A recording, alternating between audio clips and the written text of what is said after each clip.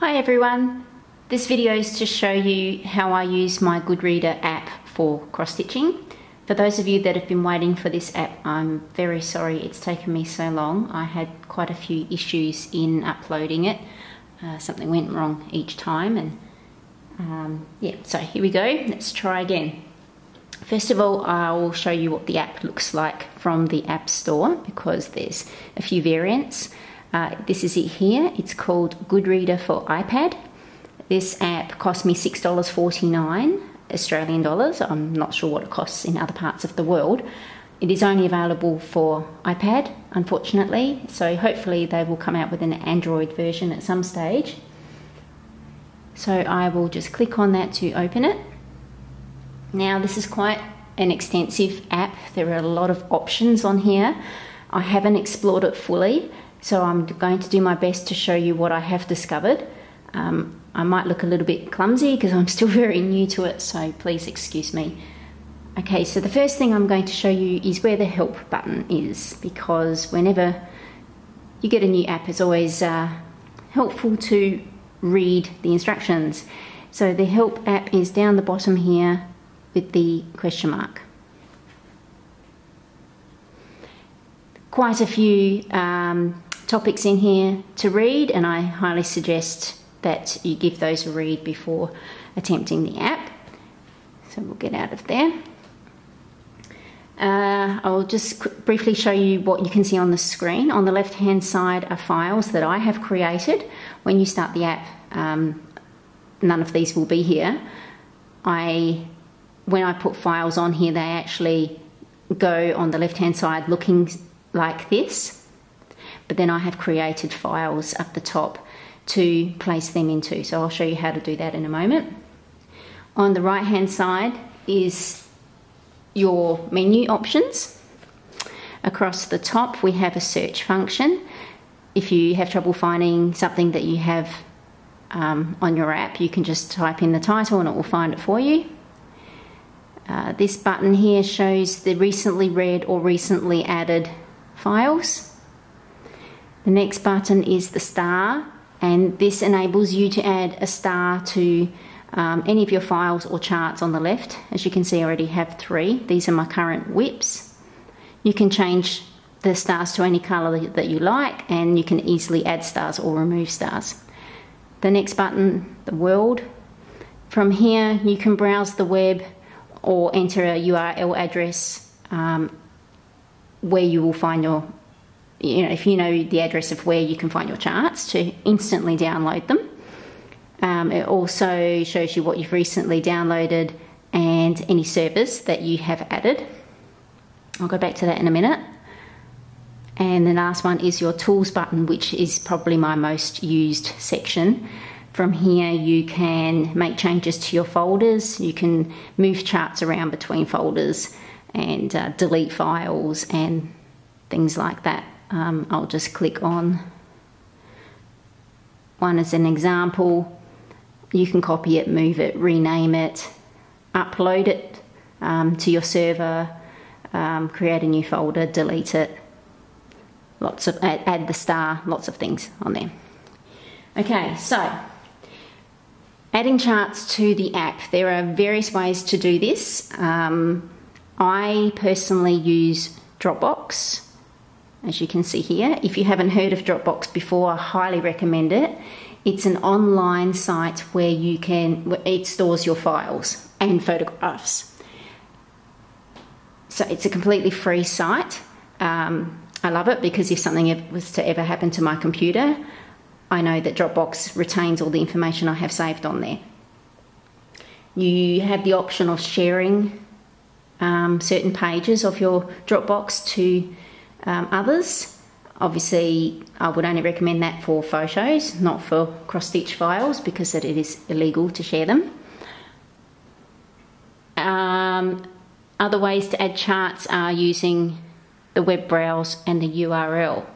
So basically, how I use my Dropbox is when I purchase a chart, for example, Heaven and Earth Designs, I say I do it on my computer and I save it to my computer and then I go into my Dropbox, I log in, and then I upload the chart to Dropbox.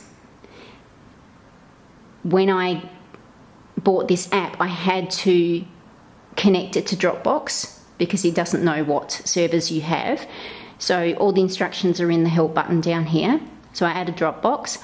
And then when I want to upload from Dropbox, or sorry, when I want to download from Dropbox onto my app, I just click on this, select the file, and it's done within seconds and it's on here. Really, really easy.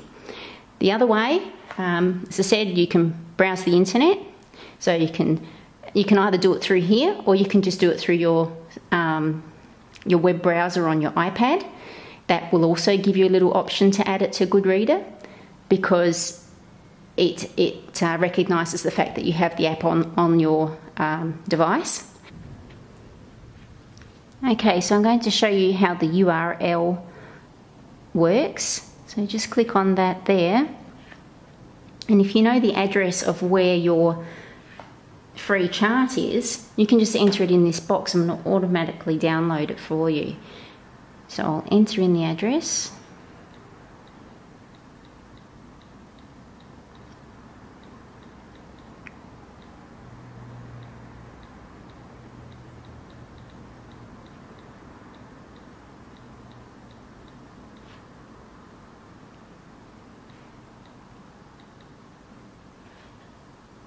Okay, as you can see the downloads tab there is working away. And if we scroll across here you can see it downloading. So we'll just wait a little bit longer for that to finish. It's actually saving the chart.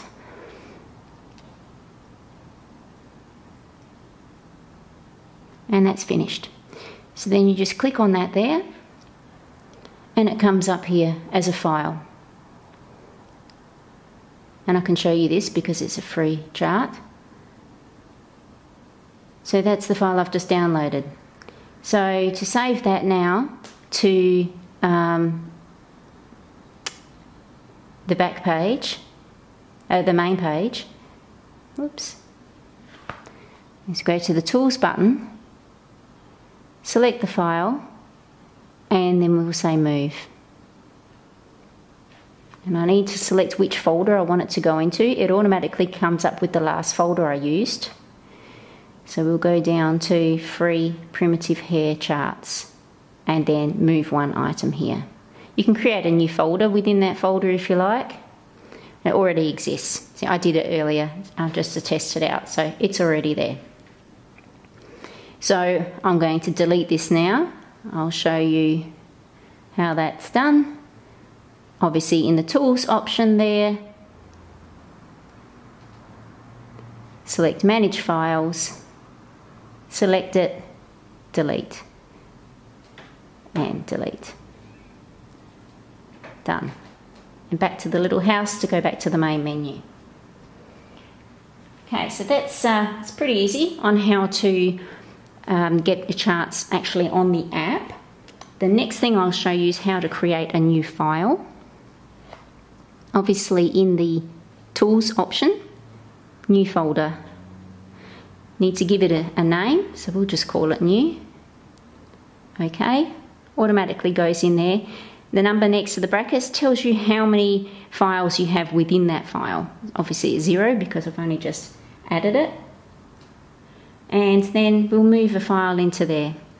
So um, we'll move my new heaven and earth um, chart into there. So we click on manage files select the chart, move, we'll go back, select our, actually I'm not going to put it into the new one, I'm going to put it into my heaven and earth charts file, which is where it belongs, and we'll move it there. And then select done. Okay, so that's pretty easy. Um, next I'll show you what the actual charts look like on the app because that's what you all want to see. Uh, to get around the copyright issue, I'm going to only show you the free charts, so there's no problem. And we'll click on this one. Now, if any of you have downloaded Heaven and Earth Designs charts to your computer, you will notice the setup for this is exactly the same. All the pages are all there. Even those of you that have purchased the paper patterns, you also receive all these. So here is the actual chart. And what I love the most about the Goodreader app is the ability to do this. You can pinch and zoom and make it as big as you like. How awesome is that? Great for tired eyes. Okay, so once you have your chart visible, there's really only two things you need to, to know is the short press and the long press. Each item will um, bring up a different menu for you. So by doing a short press on a symbol, we have our main menu on the side with all these different options. Now, first of all, I'll show you what I use and then I'll show you the other things I have found. After a little while, as you can see, that will disappear. So we'll just short press and I click on the highlight, the ABC, which has a highlight above it. The first thing that it will ask you is whether you want to create another copy. I recommend doing this because you can then make any alterations to this particular copy and you will still have your original and you won't need to upload it again through Dropbox or however you want to do it. Um, and it's that's also very handy for charts that have backstitching so that you can highlight your chart as much as you need to. And then when it's time to backstitch you can go back to your original chart which has been untouched and you can easily see your backstitching so we'll say yes for that. This is now my altered copy. Now when I work my cross stitches and on Heaven and Earth Designs as you all know I use the parking technique and I highlight the stitches that I have stitched as I go. So for an example, I click on sorry, click on the color button there and you can choose whatever color you want. These are the most recently used colors that I have used. But if you click on other color, you can see along the bottom there are all the colors that I have used in the past and you can also use that to alter the colors or click anywhere within here. So it's totally up to you. You can create your own little rainbow effect. So I'm going to show you the green, which is my favourite colour at the moment.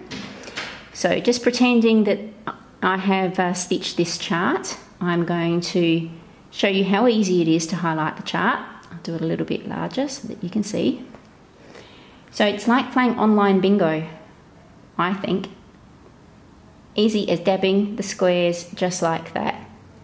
I like the way it fills the entire square. I found with other apps, it only um, highlighted a portion of the square and it, it just didn't, I was still having trouble following it. You can also click and drag in a line across only. You can't go down, as you can see, that happens. But it's really easy to erase a mistake. For that, I can just say undo. To erase a past mistake, you just do a short click and the option for delete will come up. press delete, really delete, and then it's gone. Now, as I said, I highlight my charts this way. So just have to go back into that again. So pretending I have stitched all this,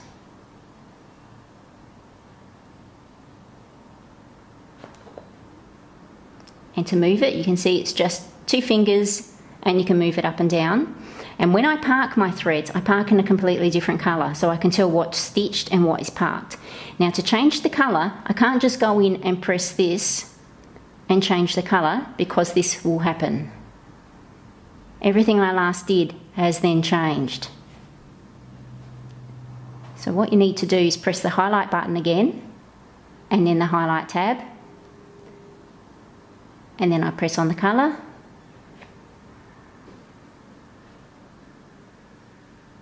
Change the colour. And then I park it there. And then I go back change it. Back on there change it. And then I can go like that. It's all pretty easy. So that's the highlight button. There are other options.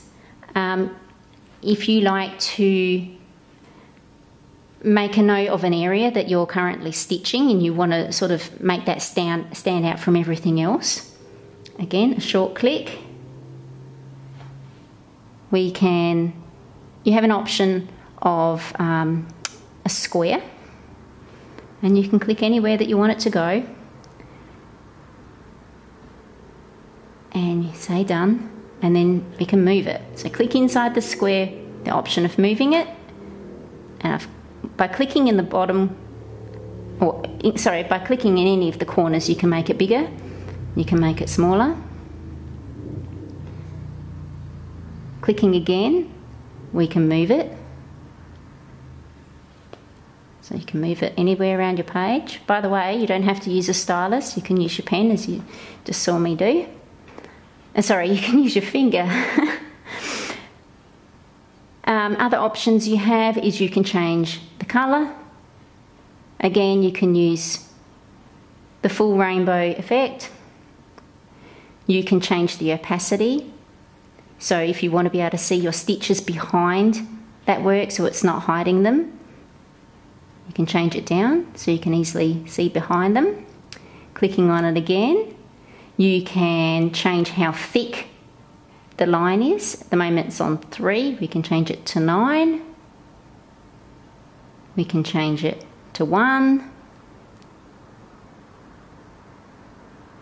So that's a really, really great. Um, I've actually got that on large at the moment as well. You can change it to small. So that's a really fun um, thing to have. So we'll get rid of that for now. Delete. Okay, so the other one is a circle. Same deal. We can make it bigger. We can move it around.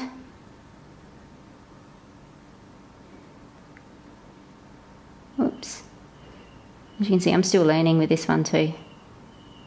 Change colour change the opacity. Everything that we did with the square, we can do with this one as well. I'll move on because there's more. There is an arrow. So if you want to, maybe you're a stitcher that likes to stitch by colour and um, you want to make note of a colour that you don't want to forget to stitch. You can put a little big or little arrow there to mark, to remind you on your pattern. Again, you can change the colours, you can change the thickness, you can move it around, you can change the opacity. Lots and lots and lots of options. Get rid of that.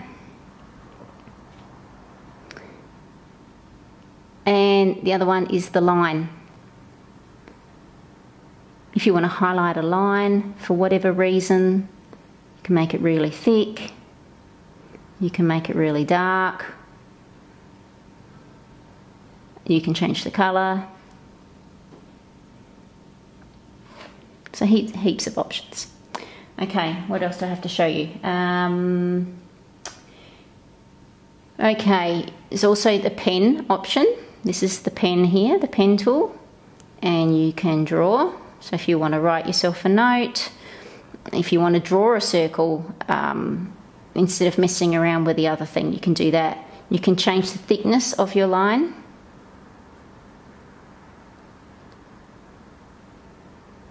You can change the colour. And again, I'll go back to this one so you can see it better. You can change the opacity so that you can still read your chart. You can always undo that straight away if you did something wrong, or to get rid of it, click on it and then press delete. And there it goes. Okay, um, I think that pretty much shows that. I want to show you a different pattern. So to get back to the main screen, where you need the main menu option and it keeps all the charts that you've opened. As you can see, this is my chart that I've been changing. and that's the unchanged chart. So it keeps them there until you click out of them, just like the Windows box on the computer. Um, the other one I want to show you is the Blackwork Journey chart because that is a little bit different. That one won't allow me to use the highlight button to mark it off. So this is where I'm at. Oh, get off there. This is the chart. All the little red dots are the areas that I have stitched. And I have done that using the pen tool. So main menu and the pen. And the only difference with using the pen tool as opposed to using the highlight tool, the highlight tool will highlight the entire square, whereas the pen tool will only highlight or mark where you dab. So, for instance, you can dab in the middle of a square if you wish. You can dab in the square. Um, it's up to you. So, that's the only way I could mark on this particular type of chart. So I think that's all I have to show you. If you have any questions regarding this app, um, please leave a comment. I will do my absolute best to to um, answer your questions. As I said, I'm still messing around with this app myself, but I can see it has um, it's very versatile and it's really great for cross stitching, and it means I don't have to use my highlighters anymore if any of you have had accidents with highlighters dropping on your fabric, you will know how devastating that feeling can be. So um, this is great. Also great if you've got little kids and you know you don't want them messing around with highlighters as well. So I highly recommend this app. So again, please feel free to comment and uh, thank you for all your support with the videos and uh, look forward to speaking to you all again soon. Bye for now.